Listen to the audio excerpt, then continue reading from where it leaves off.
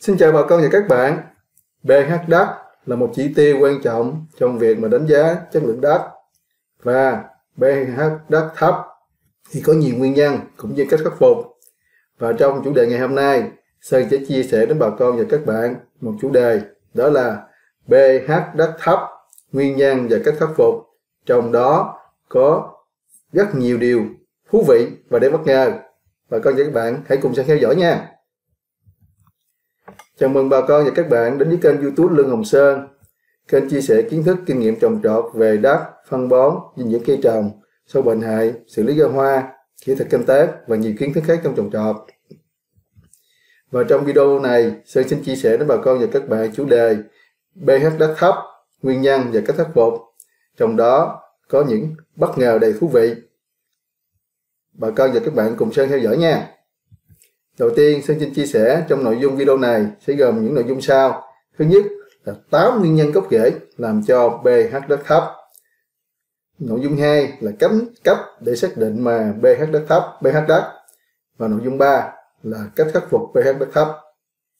Sau đây Sơn xin chia sẻ chi tiết từng nội dung của video này nha. Về nội dung đầu tiên, đó là 8 nguyên nhân gốc rễ làm cho pH đất thấp. Đầu tiên, nguyên nhân đầu tiên mà làm cho pH đất thấp đó là mất lớp phủ thực vật. Và đây là điều bất ngờ và điều thú vị đầu tiên. Đây là nguyên nhân hàng đầu gây nên là pH đất thấp nhưng ít người biết và để ý đến cũng như quan tâm đến. À, nếu như bà con và các bạn à, trước đây có để ý đến vấn đề này không hãy cho sơn biết ở phần bình luận nha. Sơn cảm ơn bà con và các bạn rất nhiều à, tại sao mà mất lớp phủ thực vật lại là làm cho pH rất thấp? Lý do là như thế này bà con các bạn.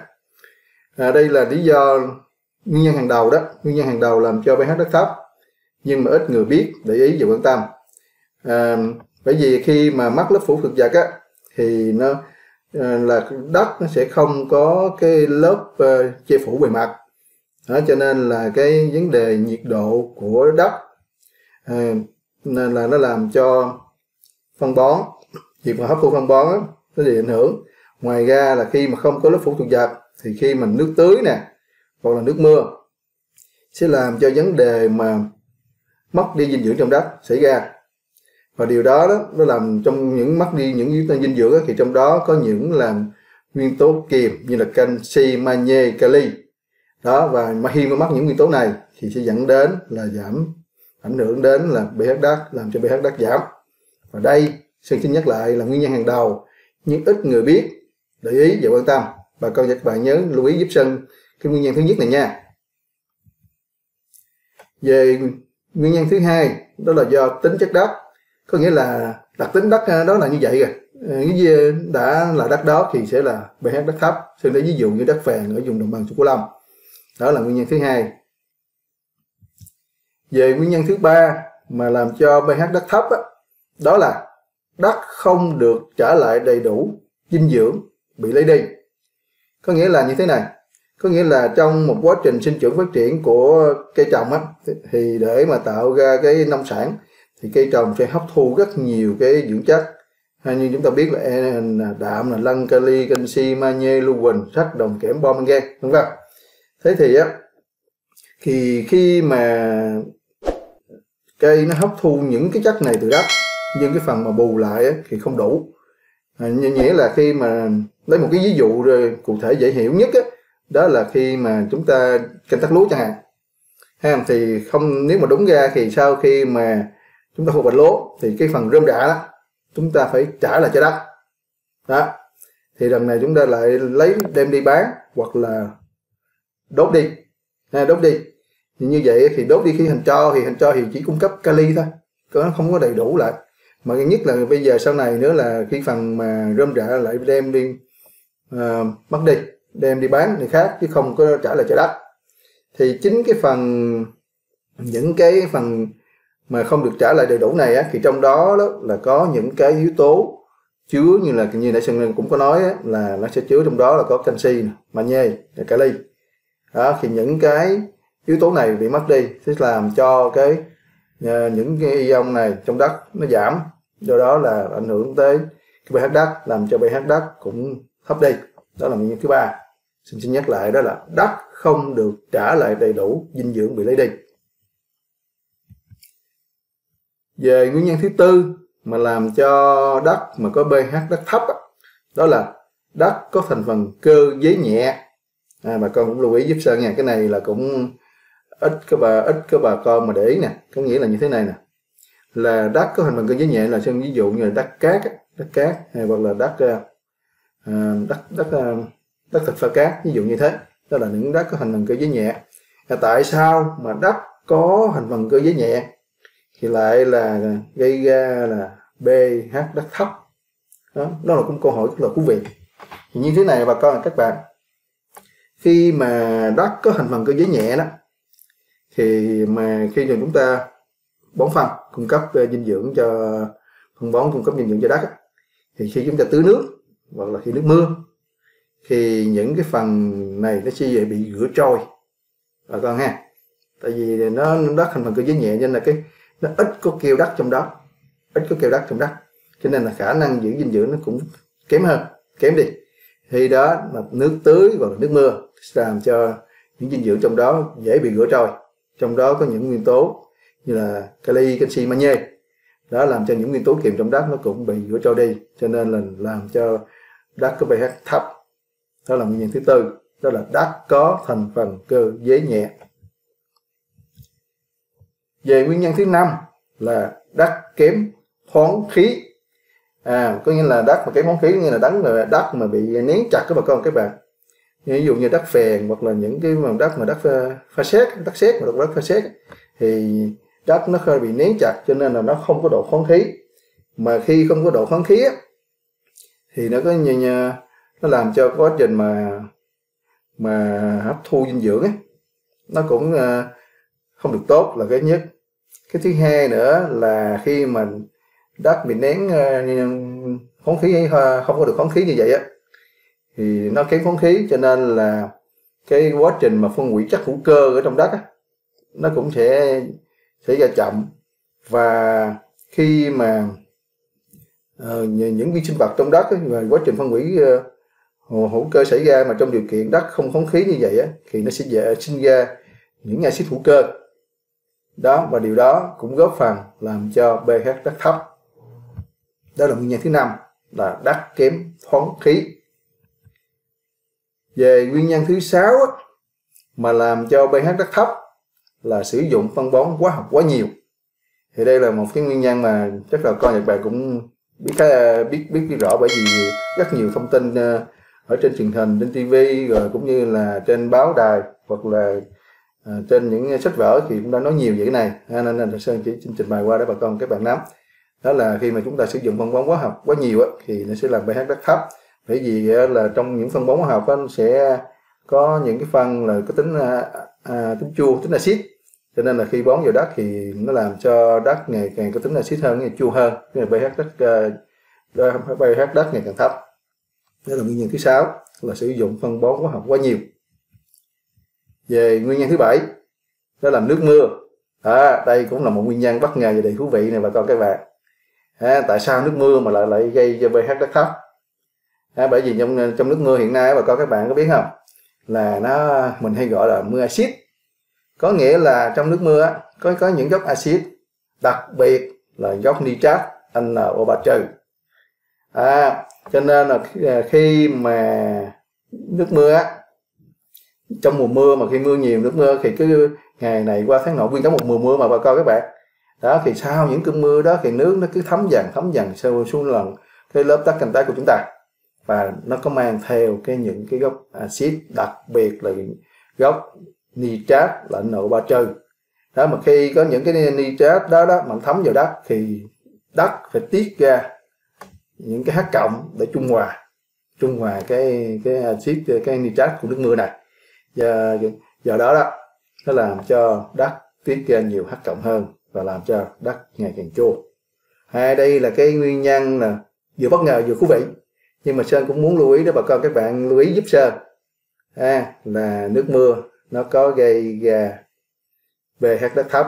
Rồi để trong cái phần mà cách khắc phục á Sơn cũng sẽ chia sẻ cách khắc phục thì bà con cũng lưu ý giúp Sơn cái, cái nguyên nhân này. Để lúc đó thì chúng ta sẽ nhắc lại một lần nữa nha.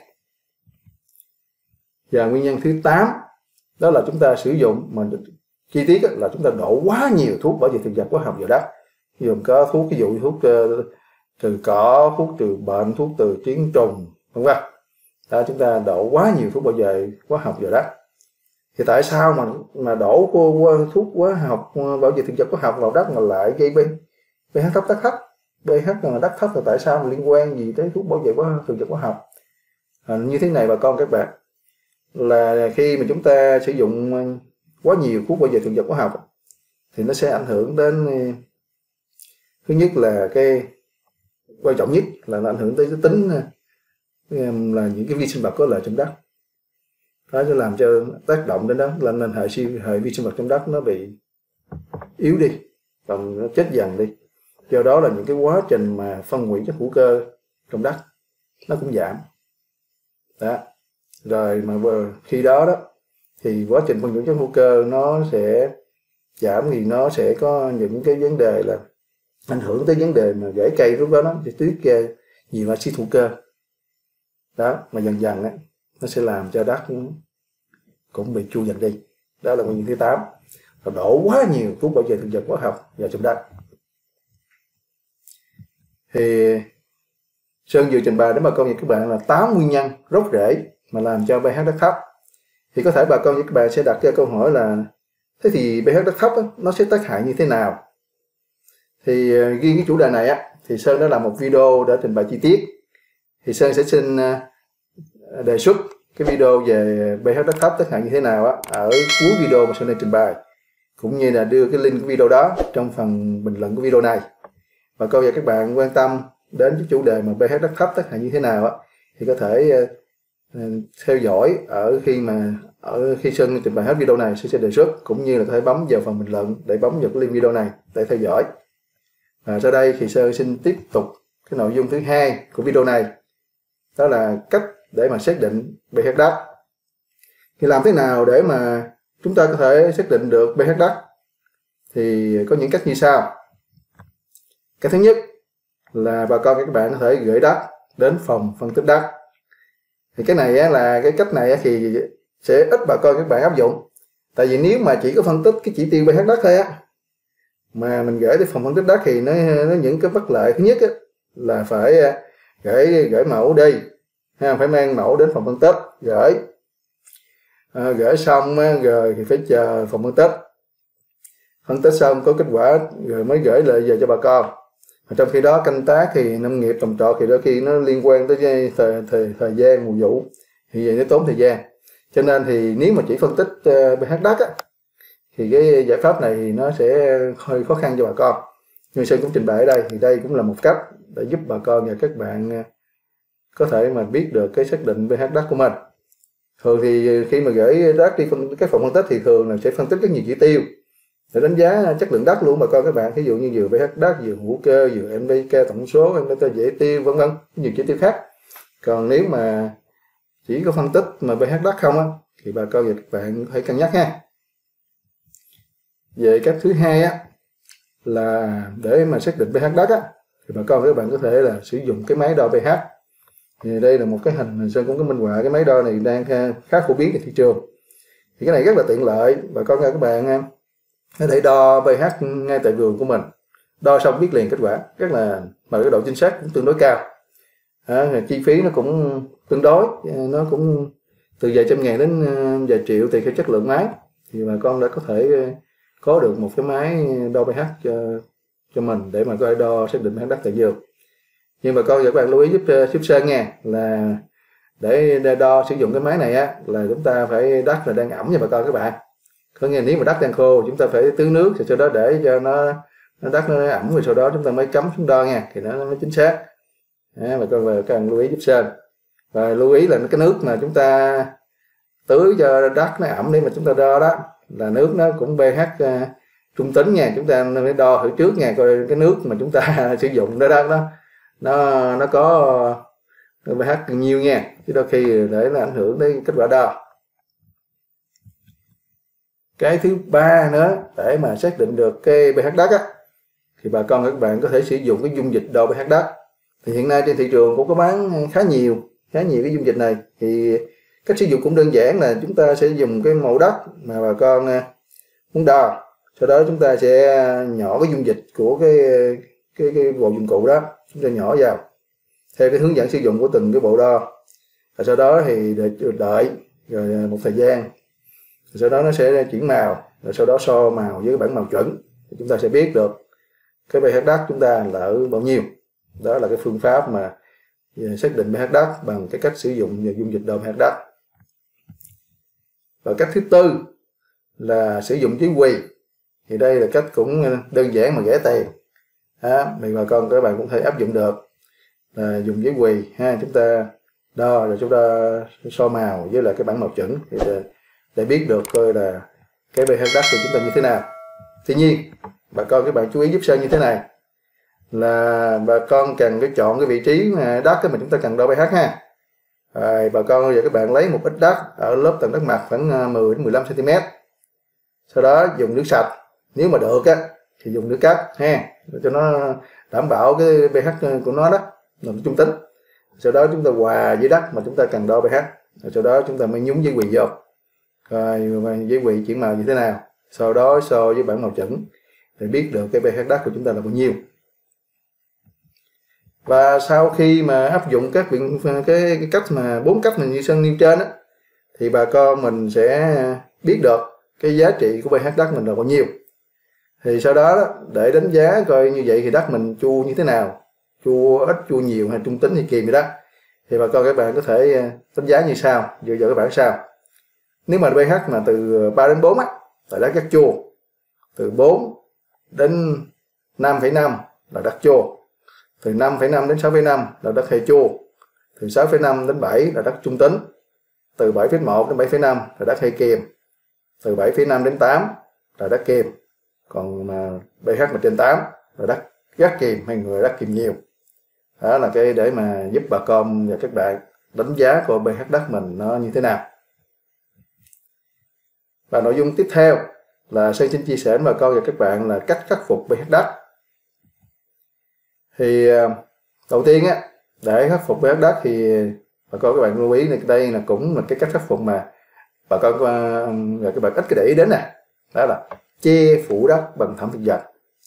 Thì để mà che phủ đất bằng thảm thực vật thì bà con bây giờ các bạn có thể trồng một số cây che phủ đất. Ví dụ như là cây lạc dại hay là, hay còn gọi là cây đậu phộng dại bà con các bạn. Đó. À, hoặc là à, tủ gốc tủ đất bằng những cái vật liệu hữu cơ. Thì riêng cái nội dung này á thì sơn cũng đã làm một cái video là về tủ gốc tủ đất. Trong đó thì có chia sẻ về 8 lợi ích nè à, về của tủ gốc tủ đất nè bảy vật liệu để tủ gốc tủ đất nè sáu lưu ý trong tủ gốc tủ đất nè và năm mẹo nhỏ mà mang lại hiệu quả to trong tủ gốc tủ đất. Thì nếu mà có bạn quan tâm thì sơn cũng xin đề xuất cái video này ở cuối video sơn đang đang chia sẻ cũng như là để cái đường link video về tủ gốc tủ đất này trong cái phần miêu tả của video này. Và còn các bạn quan tâm thì có thể theo dõi nha. Về cách khắc phục ờ, uh, pH đất cấp thứ hai á, là bà con và các bạn phải sử dụng vôi thì trong cái sử dụng vôi này thì sơn cũng muốn bà con các bạn lưu ý giúp sơn những điều sau. À, thứ nhất là có thể bón hoặc là tưới vôi.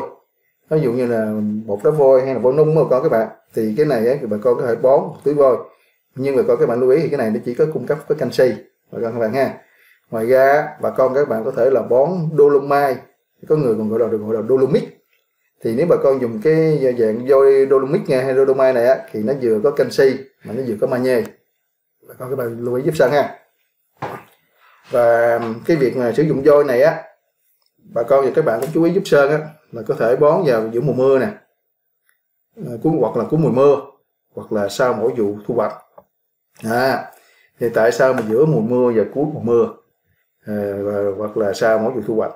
À, tại vì nãy sơn có nói á cái nước mưa á là nó sẽ gây ra pH đất thấp. Cho nên là giữa mùa mưa nếu mà được bà con cũng bón vô một lần để cho nó khắc phục lại cái pH đất ha. Còn nếu không thì phải cuối mùa mưa bởi vì sau một cái mùa mưa như vậy á thì đất nó đang bị chua rồi. Chúng ta cần phải à, bổ sung rồi để mà cái năng của pH đất lên. Rồi sau mỗi vụ thu hoạch thì như đã không sáng cái trình bày thì cây nó mất đi rất nhiều dinh dưỡng mà nó không được cái bù đắp lại đầy đủ ấy. cũng như là chúng ta sử dụng phân hóa học này kia thì cũng đã đất nó đã bị chu dần pH đất nó thấp dần. Cho nên là sau mỗi vụ thu hoạch chúng ta cũng phải là bón vôi hoặc à, hoặc là tưới vôi hoặc là bón dolomit để mà à, bổ sung cái canxi magie đó, để mà nâng pH đất lên. Đó là cách thuyết phục thứ hai là sử dụng vôi về cái cách thuyết phục thứ ba đối với pH đất thấp thì bà con các bạn có thể là bón một số chất có tính kiềm như là cho biết củi.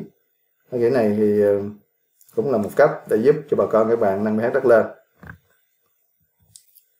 Về cái thứ tư đó là bổ sung hữu cơ cho đất thì bổ sung hữu cơ cho đất á, thì bà con các bạn có thể là bổ sung như là bón phân chuồng hoặc là những phân hữu cơ hoặc là phân xanh á, hoặc là những uh, vật liệu hữu cơ mà chúng ta tủ cấp tủ đất. Thì sau này nó ngoài một nó sẽ cung cấp hữu cơ cho đất.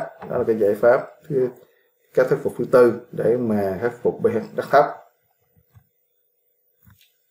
Về cách thứ năm á, là giữ đất luôn thông thoáng không để ngập nước à, bởi vì như nãy sẽ có nói là nguyên nhân mà làm cho đất ờ, mà bị pH đất thấp ở trong đó có nguyên nhân là đất uh, kém không khí. Đó, cho nên là chúng ta phải khắc phục nó là bằng cách là luôn giữ đất luôn thông thoáng không để ngập nước để cho quá trình mà à, vi sinh vật đất được cơ hoạt động tốt nhất ha để cho nó giúp cho pH đất nó không có không có bị thấp và cái cách khắc phục thứ sáu là bà con các bạn nên chuyển dần sang từ phân hóa học sang phân hữu cơ. Còn nếu như mà do chúng ta không thể, hay ờ, bón được phân hữu cơ mà phải bắt buộc phải sử dụng phân hóa học, thì chúng ta nên chia nhỏ thành nhiều lần bón. Đó, để cũng hạn chế cho cái pH đất thấp. Thì đó là sáu cái cách mà để ờ, khắc phục pH đất thấp thì trên đây là một video mà Sơn chia sẻ đến bà con và các bạn về cái chủ đề là pH đất thấp à, những nguyên nhân và cũng như cách khắc phục à, nếu bà con và các bạn thấy video hữu ích xin hãy giúp Sơn chia sẻ video này đến nhiều bà con hơn và đến cộng đồng trồng trọt để cùng nhau chúng ta sẽ giúp cho bà con các bạn cũng như cộng đồng trồng trọt sẽ canh tác ngày càng hiệu quả hơn. Và nếu bà con và các bạn quan tâm đến kiến thức kinh nghiệm về trồng trọt như là đất, phân bón những cây trồng, sâu bệnh hại, xử lý cây hoa, kỹ thuật canh tác và nhiều kiến thức khác trong trồng trọt. Thì bà con và các bạn hãy đăng ký kênh youtube Lương Hồng Sơn. Và sau khi bấm nút đăng ký, bà con và các bạn hãy nhớ bấm nút chuông để mà khi có video mới thì Sơn sẽ chi thông báo đến bà con và các bạn. Bà con và các bạn cũng hãy giúp Sơn chia sẻ video này đến nhiều người hơn. Và ở cuối video này, Sơn sẽ đề xuất hai video liên quan đến video này. Đó là video về pH đất thấp tác hại như thế nào và video về tủ gốc tủ đất. À, và nếu bà con các bạn quan tâm thì bà con và các bạn hãy bấm vào video bên trái hoặc video bên phải hoặc là bấm vào phần miêu tả video để chọn video mà bà con và các bạn muốn xem. Xin cảm ơn bà con và các bạn rất nhiều. Hẹn gặp lại bà con và các bạn trong những video tiếp theo. Xin xin chào và hẹn gặp lại.